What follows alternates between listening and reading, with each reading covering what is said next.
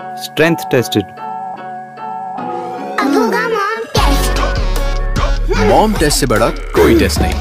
और हमने पास किए हैं। ऐसे ही करोड़ों मॉम टेस्ट